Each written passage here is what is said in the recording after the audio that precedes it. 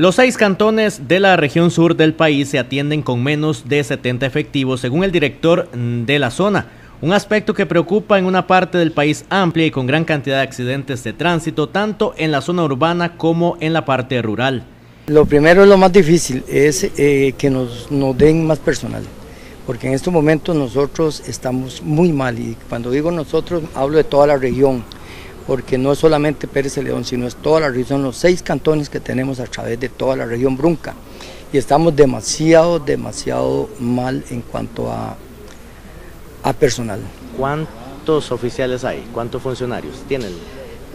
En, toda la región en estos momentos hay como 68. Y es que los números son preocupantes. Se tienen 68 efectivos para cubrir la región donde se necesitan unos 300. Estos números dejan en evidencia que la cantidad de oficiales de tránsito que faltan y a los que hay que agregarles que ellos trabajan en tres turnos.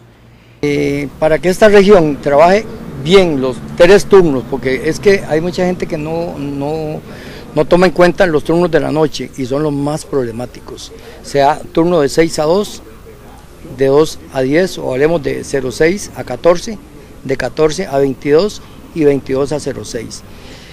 Para, para poder desarrollar bien ese trabajo, nosotros en esta región necesitamos por lo menos 300 oficiales. Sí, o sea, viéndolo desde un punto de vista, pero en estos momentos a mí la dirección me da 20 oficiales para la región Brunca, ya es, un, es una garantía.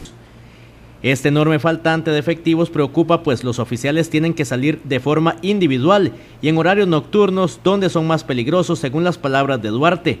Porque en muchas ocasiones algunos de los compañeros tienen que salir a trabajar solos y es un riesgo, es un riesgo, como está la problemática ahora, es un riesgo y y lo que hacemos es este, eh, trabajar en conjunto con la fuerza pública, porque muchas veces no nos alcanza, sobre todo los, los este, turnos de la noche. Son seis cantones en la región sur, Corredores, Cotobruz, Buenos Aires, Osa, Golfito y Pérez Celedón, siendo este último el que más problemas tiene en asuntos de tránsito y donde se atienden gran cantidad de accidentes. De hecho que es Pérez Celedón.